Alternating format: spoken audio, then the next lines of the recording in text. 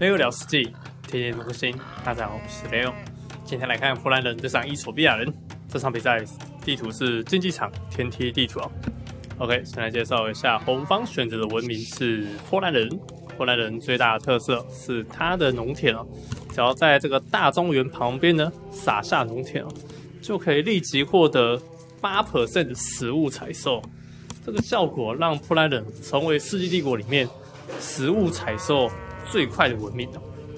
那波兰人呢？他的大肉马跟重装骑士哦都有特殊能力哦。大肉马的话有这个扩散伤害的效果，而且他的大肉马是可以升级到这个波兰一骑兵哦，伤害变成九加四，然后有扩散伤害的效果，非常强大哦。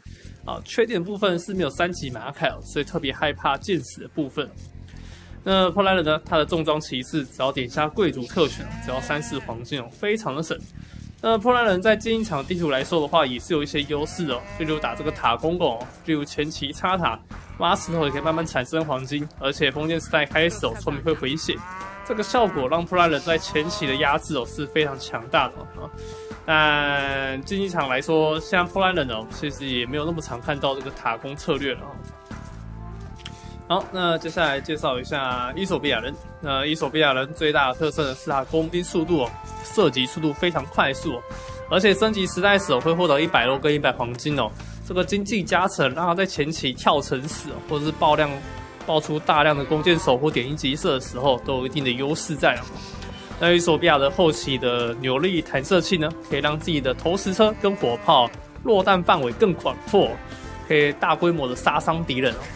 所以伊索比亚人前中后期哦都是非常强大的，而且伊索比亚人还可以免费升级重装长枪兵，所以遇到骑兵部分哦也可以及时防御哦。好，那来看一下两边竞技场会怎么打吧。呃，这一场呢是大概是两千两千两百分左右的比赛了啊，所以不是会那种顶尖的哦，稍微往下看一点哦，还是可以看到一些不错的比赛哦，跟大家分享一下。OK，那这边是看到两边的肉马是稍微再探查一下圣物的位置哦。那目前看起来两边的侦查都是想要捡圣物的一个走向哦。哦，这个魔房盖得很漂亮哦。啊，这个稍微保留一格，当然也可以贴到底哦，贴到底也是没问题的啊，就变成两个村民要在上面，两个村民在下面啊。好，那往后盖一点的话，也比较不容易被骚扰到啊，这也算是一个小小的细节。呃，波兰人这边农田，然后这个大庄园盖好了。那前期没意外都是打一个正常开局啊，四个人伐木，啊，这边是两个人伐木。哎呦，波兰这边是极限配置，哎，挖石头，黑暗时代挖石头，看来是要打波兰封建塔工了吗？哦，才刚说完波兰人打塔工，其实塔工其实没那么常见，结果马上就要打脸了，哎呀，哈哈。觉得常见第一哦，就是要比五成还要多的这个几率哦，才叫常见。但破烂确实在竞技场来说优势并不是非常大，打塔攻确实是一个方法。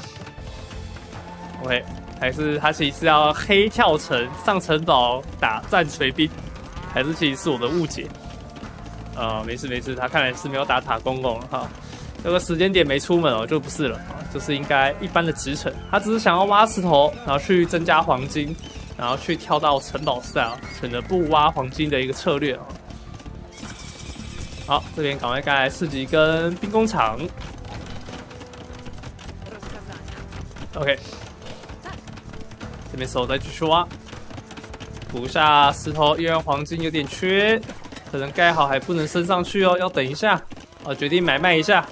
卖掉了一百石头，OK，继续挖石。好，波兰这边点下了一级伐木，那一级农田点下之后，才会去点这个撒农田啊。这边肉吃完就可以开始撒农田喽。对，至少少个两三片田哦，才不会断热。他如果要开 TC 的话，应该是要先撒一些农田，会比较安定一点啊。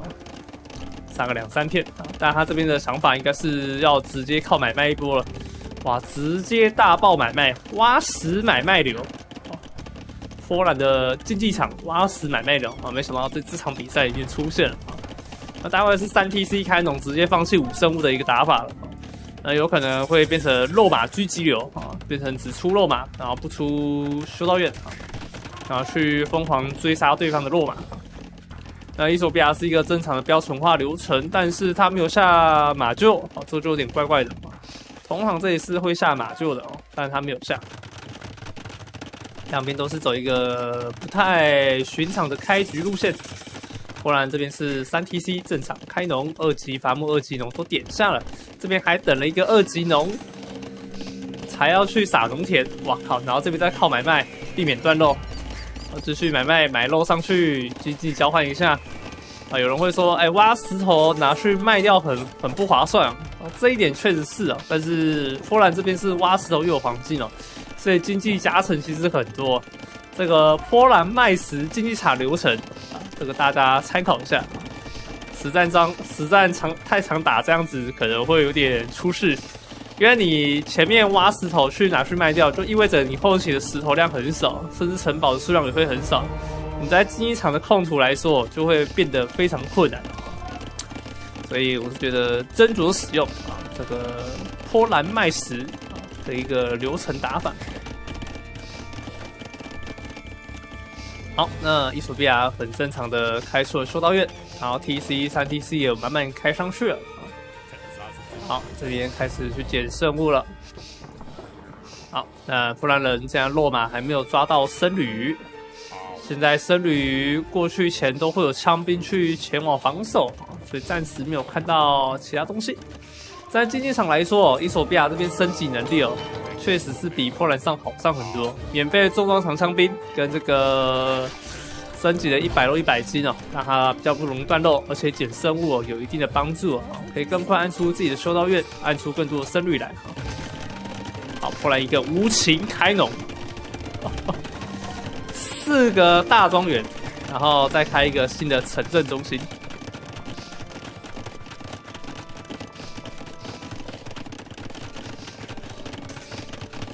好，这里石头继续挖。好，后面修道院没有补，果然是走一个放弃流啊。城堡可能盖在城门内吗？好，直接低调，然后盖这个位置。OK，看一下金矿，但这个生物还没来得及拿到，伊索比亚直接在城堡面前盖了一个工程器制造所，他可能并不知道这里有城堡正在盖啊。好，下方的生物也被拿掉了。只剩下正门口这个生物喽。好，波兰这边已经快要可以点下帝王时代了。哇，这个几个大中眼，四个大中眼点帝王。OK，这就是我熟悉的波兰竞技场。好，这里稍微射掉村民。这边要转龙炮骚扰挖金矿村民，来一个烧战，看一下视野。好，波兰这边点下城镇瞭望，增加一下哨站着四个视野啊，好，两边都一个正常开局，但是波兰人这边村民数稍微落后了啊。伊索比亚这边村民数来到九三村，最主要是因为波兰这边升地龙时代非常早，快了对方快要两分钟啊。哦，真的是一个波兰竞竞技场挖石买卖流，然后直地打奥布奇战锤兵。哇，打奥布奇战锤兵这个流程相当罕见哦。OK，呃，看起来波兰是暂时领先的科技上的部分，但实战上会不会领先伊索比亚就是一个问题啊。因为伊索比亚的工兵速度非常快啊，随便转一下强弩，反击回去就可以了。而且对方转这个弯刀勇士哦，也不会受到破甲伤害的效果。造成大量打击，是不是可以稍微反击回去了？OK，弯刀武士马上出来了，马上开刮，拿这个镰刀开始刮他的铠甲。哎呀，果然啊，波兰速地战锤兵，我觉得很没料，就是这个原因，真的是超级无料，按耐手。哎，然后周围又被对方插满了哨弹。可以说，直接比亚这边控金控得很 OK 哦。虽然这黄金都在他的领地范围内，哇，这个石头黄金的分布好像有点怪怪的。啊，其实也没有怪怪的啊，黄金跟石头都在这里，都算正常。哎，中间就只有少量的石头，下面应该有块金打在这里。哎，这边有一个哦，战锤兵在拆除哨站啊。伊索比亚的哨站哦是不需要耗费石头，所以他才可以这样一直插、一直守、一直控图。好，这边火炮过来打一下巨型投石机，总会跑。好，这里撤退一下，对方转火炮之后就很难打了。火炮投石车，扭力弹射器要出来了吗？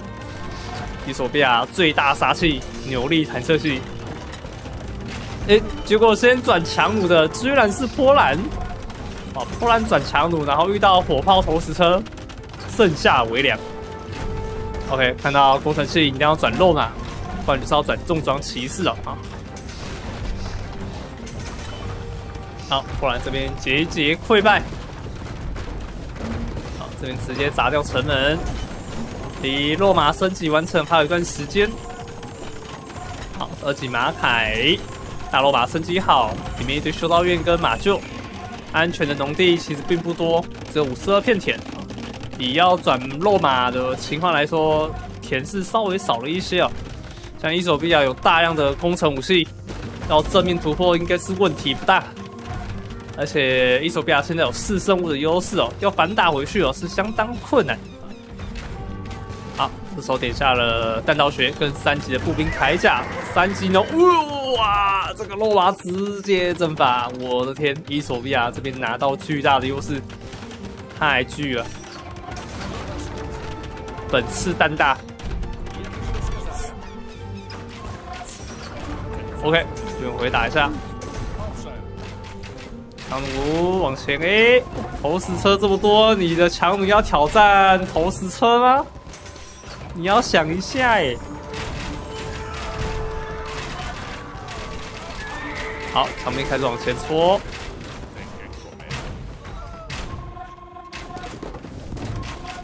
好，落马开始跑一下。哦，开始杀掉。好，是连村民都来打架了吗？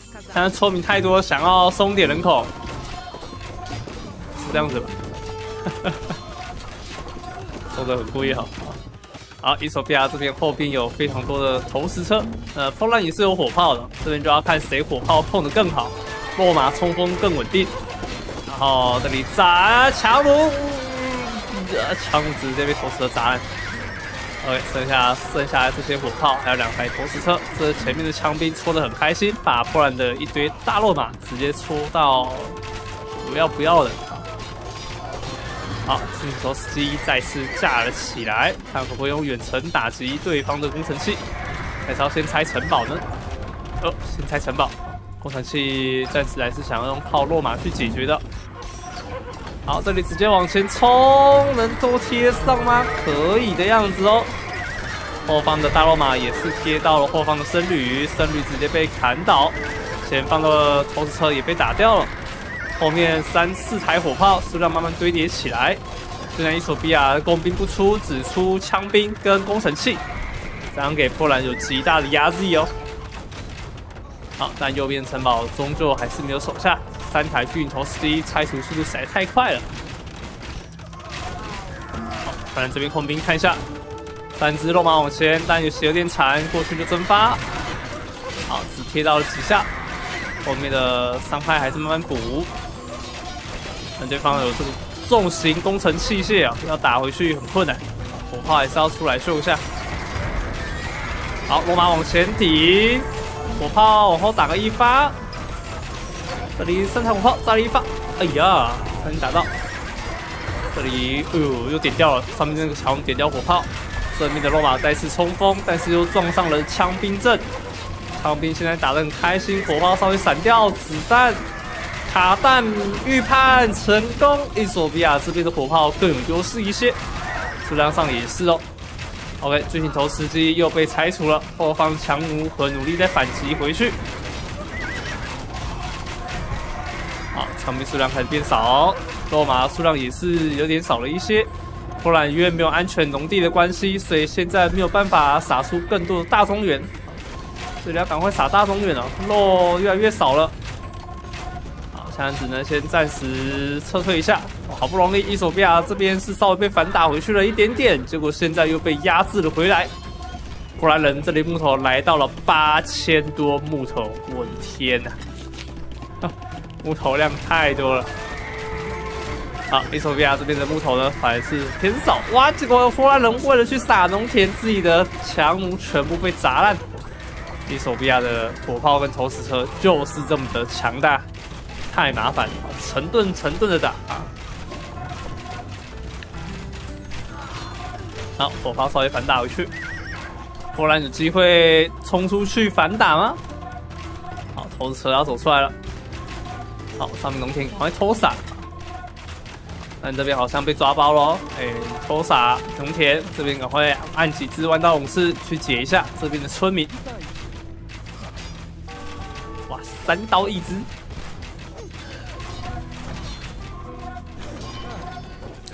呃，弯刀勇士比游侠伤害哦，基础伤害再多两点。这真的蛮夸张的，一般游侠是十四加四，十八点伤害而已啊，弯刀勇士可以到二十点，这就是玻璃大炮。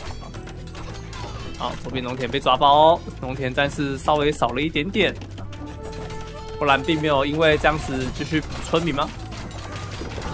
啊，这边还拉了一些村民去反击，罗马再次出鞘，伊索比亚也转出了强弩，边看一下。罗马稍微闪掉投石伤害，好，火炮往前砸到自己大量的枪兵，后方大罗马还在往前走，战矛兵开始往前，往前可能会被投石砸了一发，呜，没心态了，好痛，OK，波兰这时候才点下波兰一骑兵的列克提克遗产。让波兰有这个扩散伤害的效果。哦，现在三攻一直没有点，难怪打工程器有点痒啊！啊，可能是忘记点三攻，这可能是个伏笔。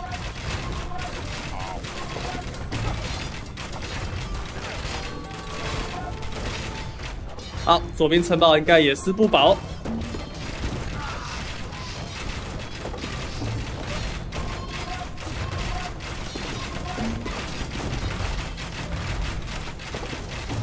嗯看来波兰这个极限麦石上层的一个打法，却是一个极限配置哦。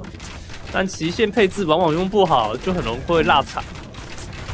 所以真的蛮不推荐大家去学这种极限配置的。学完后面的流程，可能会有点不太舒服，甚至会有被压制的可能。哇，又被砸到了一盘。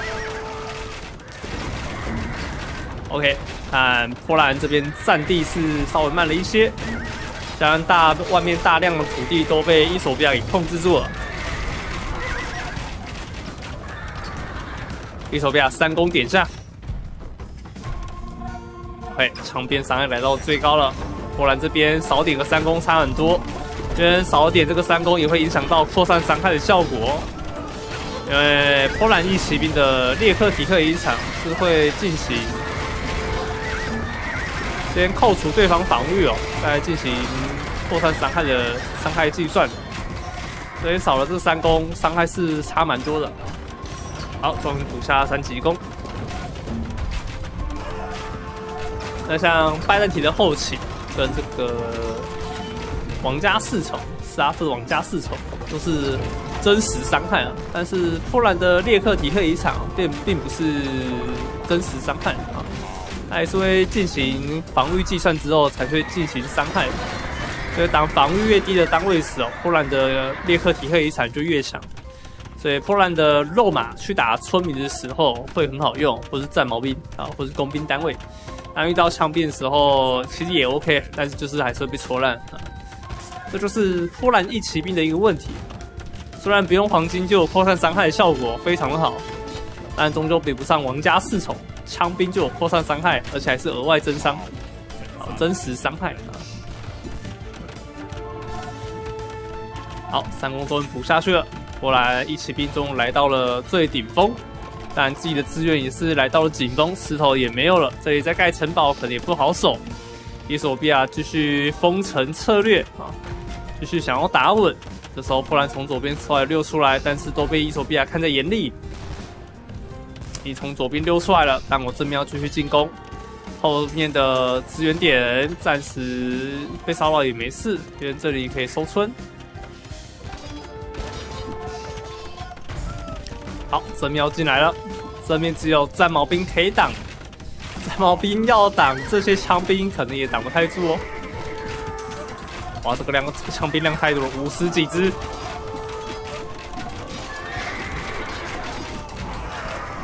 大罗马在后面偷砍村民，这里没有收到村民。哇，这个打一下十二滴呀，四刀一只啊，砍一刀村民十二滴的伤害，高痛。然后如果有破伤，有发发出这个列克提克遗产的话，我记得是三刀一只哦，高打低。甚至可以不用高打低也可以。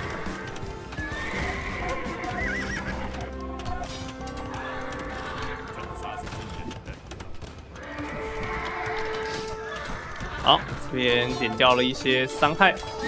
哦，投投石车直接被火炮点掉。好，大罗马上前顶了进去，直接被包夹夹烂。后方大罗马要往后抓一下火炮啊？火炮看起来是有点难抓掉了。这边强兵直接万夫莫敌，哎呀，怎么挡呢？波兰这里非常难打，因为没有火枪的关系哦。遇到对方的枪枪兵，只能用火枪解决啊，只能用强弩解决啊，不然就只能用战矛兵了啊。欢迎直接转投石车，好。啊！对方投石车跟火炮这么多的数量，打起来真是不好打。好，伊索比亚这边升级马凯，难道伊索比亚也要马爆了吗？伊索比亚大落马，没有品种，没有三级马海，硬出。哇！这个火炮直接砸掉了一大堆的强度，牛力弹射器，干得贵。好，这里枪兵想要上前。可以直接硬戳，罗马上前又再次被后面的预备队枪兵给戳到，这边绕了一个圈，落马完全没有打到火炮，直接被枪兵给戳烂。伊索比亚这边防守防的很好，火炮直接往前点了一发，砸掉了大量的火战矛兵跟枪弩。哇靠，这就是毁天灭地哦！扭力弹射器，嘎，好强啊！又砸掉了一大堆。这也是我很喜欢玩伊索比亚的原因哦，工兵强，然后火炮跟投石车，有力弹射器可以大规模的杀伤后排敌方单位啊。好，伊索比亚落马升级上去，肉太多，转一些肉马也是合情合理。好，这边就只要慢慢进攻，就可以拿下波兰人了。分数已经差距来到了七千分，波兰依旧没有放弃。无尽大落马，难道要在此溃败了吗？OK，直接打出了 GG。最后出了三百五十五支的义骑兵跟三二的枪兵哦。来看一下经济的部分，经济的部分是由波兰拿到实物上的胜利哦，赢了大概一万八左右的资源。黄金则是输了大概八千资源，因为四升五都在伊索比亚手上，打越久就越亏啊。那 KD 来到一点七了，波兰只有零点五四啊，这也是波兰的后期比较有大的问题哦。遇到这种阵地战时哦，很难突破对方的这个工程器单位啊，只能用火炮跟对方反击回去哦，不然就只能用大罗马无限冲锋哦，找到机会，只要对方没失误的话，通常是很难反打回去的。好啦，那么今天影片就差不多到这喽。那如果喜欢这部影片，请记得帮我下订阅，我们就下次再见喽，各位拜拜。